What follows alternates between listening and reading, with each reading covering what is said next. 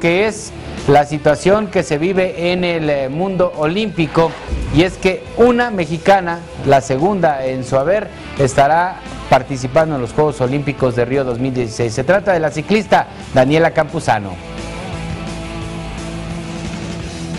Daniela Campuzano, la ciclista que el domingo ganó el Campeonato Panamericano de Montaña en Colombia, regresó a México con la satisfacción de ser apenas la segunda deportista nacional que califica los Juegos Olímpicos del próximo año en Río de Janeiro. Fue muy difícil, eh, traté de no pensar en que se estaba jugando una plaza, sino hacer mi mejor competencia y hacer mi máximo esfuerzo y ya cuando llegué a la meta pues me llegaron todas las emociones y toda la felicidad de, de saber que tenemos esta oportunidad de representar a México en las Olimpiadas.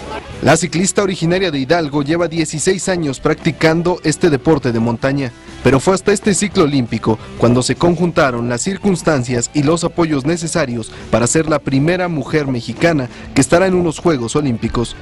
Yo veo que, sí, que nos han apoyado muchísimo y que que esto es una motivación para que más mujeres se den cuenta de que se puede lograr y que espero que en los próximos años no solo sea una plaza, sino sean dos plazas. Seguir compitiendo a nivel mundial y pues es lo más importante, competir, competir y darse cuenta cuáles son las fallas y mejorarlas. La otra deportista nacional que ha logrado hasta el momento calificar a Río de Janeiro 2016 es Demita Vega, quien participará en la competencia de tabla vela y ganó su boleto en el Campeonato Mundial del año pasado en España.